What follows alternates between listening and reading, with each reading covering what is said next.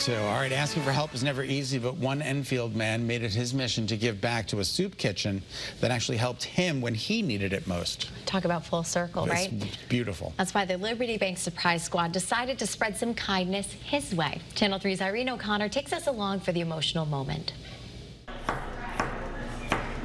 Take a peek inside Loaves and Fishes Soup Kitchen in Enfield most any day of the week.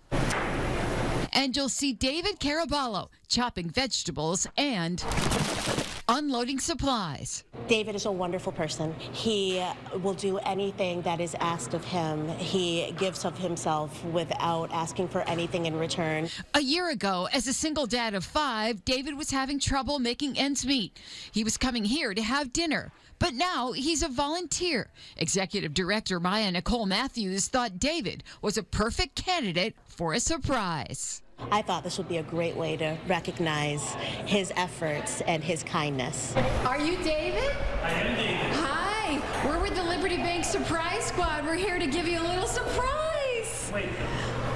Oh, are you serious?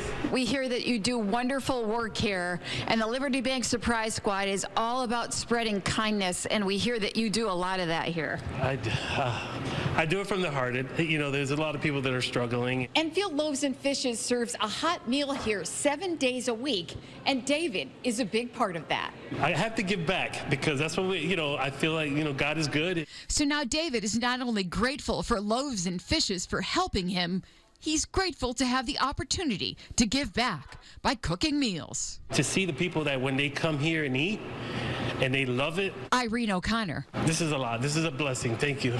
Channel 3 Eyewitness News. Nice story there. The Liberty Bank Surprise Squad wants to keep spreading kindness, and we need your help. So if you know someone who deserves to be recognized, nominate them today on the Channel 3 app. Or you can always go to WFSB.com and click right on the Surprise Squad nomination form.